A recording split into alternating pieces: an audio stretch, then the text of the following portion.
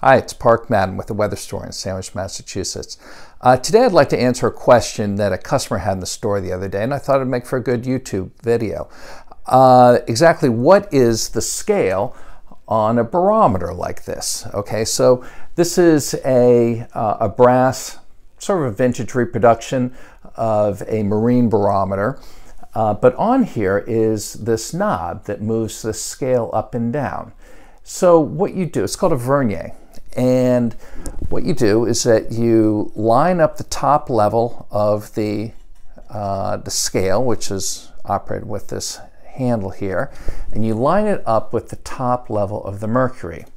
So the first thing that you do is actually you read where that is. So in this case, this barometer is now reading about 29.4. But the beauty of the Vernier scale, and we'll get a close-up on this, is that you then look at where the little hashtags uh, marks on this little piece are, and they're numbered 1 through 10.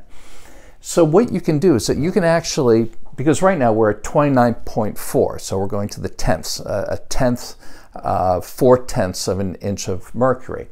But we can actually read to the hundredths with this.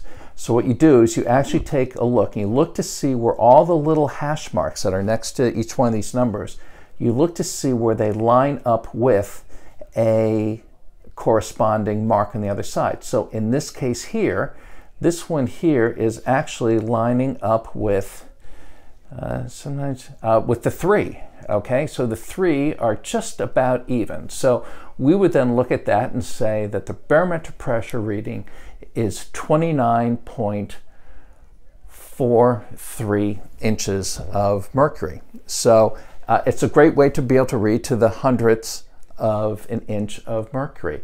Um, neat little trick about barometers. I hope this helps out anyone who's curious about how that scale works.